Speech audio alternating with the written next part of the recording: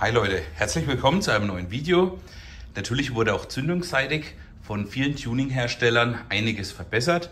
Das wollen wir uns heute mal anschauen, indem wir uns die CDIs anschauen und vergleichen, indem wir Zündspulen vergleichen, Zündkerzenstecker, Zündkabel und natürlich Zündkerzen.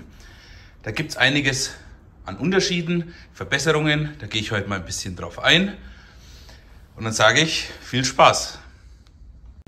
Auch bei den CDIs gibt es Tuning-Möglichkeiten. Und zwar habt ihr einmal die ganz normale Originale von Minarelli. Die ist, je nachdem, ob ihr Mofa oder 45er Roller habt, Drehzahl gedrosselt und manche können sogar ähm, über ihre Drehzahldrosselung die Geschwindigkeit begrenzen. Damit, da könnt ihr Abhilfe schaffen, indem ihr eine offene CDI verwendet. So schaut die aus.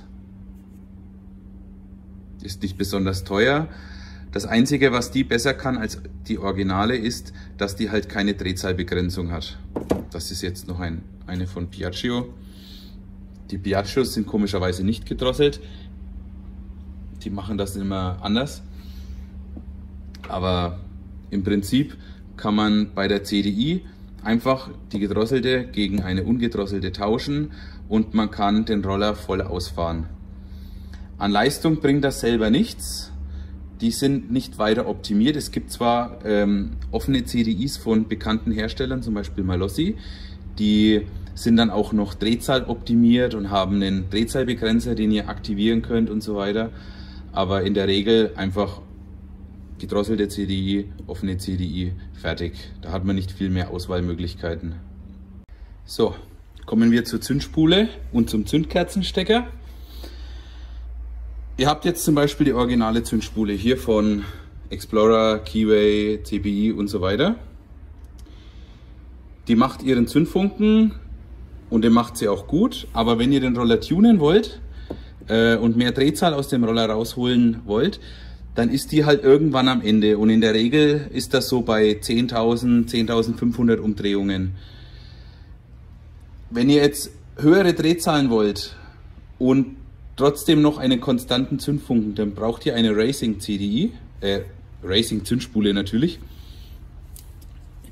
Da könnt ihr dann von allen möglichen Herstellern welche kaufen und im Prinzip sind das dann einfach nur größere Zündspulen, die einen stärkeren Zündfunken machen und somit auch ähm, höhere Drehzahlen abkönnen. Mehr ist das nicht. Wenn ihr jetzt einen Piaggio-Roller habt, dann habt ihr CDI und Zündspule in einem. Auch dafür gibt es natürlich Teile zum Tauschen, klar. Wollt ihr jetzt noch mehr Drehzahl, Leistung und so weiter, dann gibt es natürlich noch richtig teure Zündspulen von den guten Herstellern wie Malossi, Polini, Stage 6 und so weiter.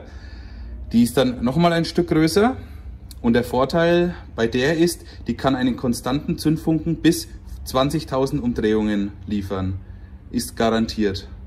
Und kein Roller dreht 20.000. Die härtesten, was ich bisher gesehen habe, haben 15.000, 16.000 gedreht. Dafür reicht das dann auf jeden Fall aus. Auch in Sachen Zündkerzenstecker kann man da natürlich optimieren. Jetzt seht ihr hier zum Beispiel einen stinknormalen Originalen. Der hier ist auch ein ganz normal Originaler.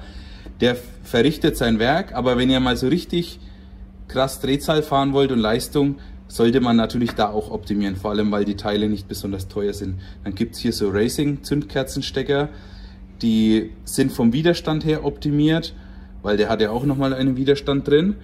Und die halten auch besser, sind widerstandsfähiger, temperaturmäßig und wasserdicht. Also wasserdichter als die Originalen. Und sowas kann man sich natürlich auch zulegen. Gibt es natürlich auch wieder von jedem Hersteller. Äh, ich habe jetzt gerade ihn hier da. Ja, wie gesagt, ein Muss auf jeden Racing-Motor, um einen konstanten und starken Zündfunken auch in sehr hohem Drehzahlbereich zu haben. Und ihr, müsst, ihr dürft nicht vergessen, wenn ihr jetzt ein gutes Sport-Setup habt, dann könnt ihr manchmal auch schon Umdrehungen, also äh, Drehzahl von 10.000 bis 11.000 haben. Bei einem Racing-Setup habt ihr ganz schnell mal 13.000. Und dann, wenn ihr High-End fahrt, ist sowieso 15.000, 16.000. Wenn man gut abstimmt und einen sehr hochdrehenden Auspuff hat. Und dann sollte man über sowas schon nachdenken, vor allem weil das Zeug einfach nicht teuer ist. Äh, eine bessere Zündspule kostet einen 20er, äh, so ein Zündkerzenstecker kostet, glaube ich, 10 oder 15 Euro. Das kann man schon mal ausgeben. Es gibt auch Racing-Zündkabel. Da habe ich jetzt ehrlich gesagt keinen Unterschied zum Originalen gesehen, aber wer das will, soll das halt machen. Die Malossi Zündspule ist dann natürlich schon teuer, die kostet glaube ich 50 oder 70 Euro. Äh, aber die sollte man dann eh in Verbindung mit einem Innenrotor-Kit fahren. Auch Zündkerze-mäßig kann man tunen. Man hat ja meist so eine B7 HS drin. Und ähm, das erste wäre mal, dass man zum Beispiel eine BR reinmacht. Die ist entstört, was euch eigentlich so weiter nichts bringt auf Original, aber zum Beispiel einen sauberen Zündfunken bringt und äh, eure Drehzahlmesser richtig anzeigen lässt. Auf Original ist es egal, aber wenn ihr ein bisschen tunen wollt, halt die gehört dahin, dann ist das nicht verkehrt. Und äh, wenn man natürlich dann noch mehr Leistung rausholen will und mehr tunen möchte, dann kann man zum Beispiel sowas hier nehmen. Eine NGK oder auch Denso gibt es, jeder Hersteller hat solche. Und zwar sind das Pla also Platinkerzen oder Iridiumkerzen. Und die unterscheiden sich halt im, in den Materialien. Und ich, ich hole sie mal raus.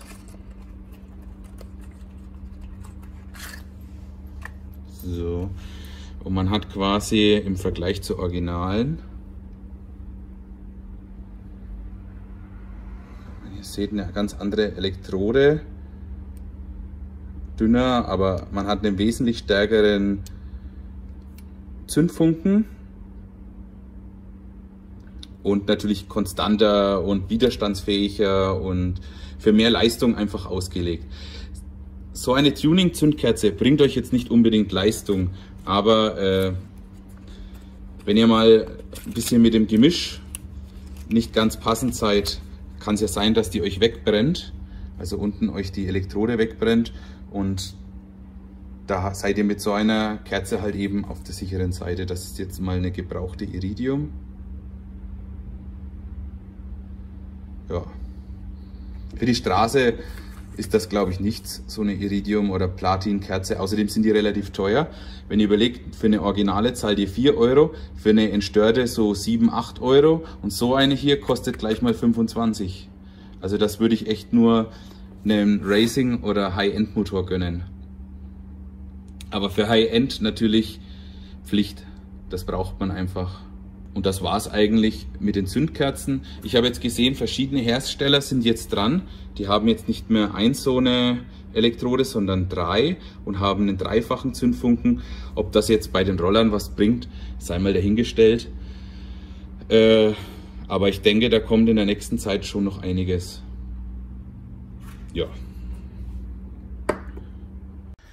So, wie ihr gesehen habt, lässt sich auch hier natürlich einiges verbessern im Vergleich zum Originalteil. Ein konstanter Zündfunke ist natürlich für unsere Motoren sehr wichtig und natürlich auch ein starker Zündfunken, weil wir wollen ja ziemlich hoch drehen und das können die Originalteile oft nicht ganz ab. Solltest du noch irgendwelche Fragen diesbezüglich haben zu den gezeigten Teilen oder auch allgemein, schreibe es gerne in die Kommentare. Ich versuche dir natürlich zu helfen. Und dann sage ich wie immer, danke fürs Zuschauen und bis bald.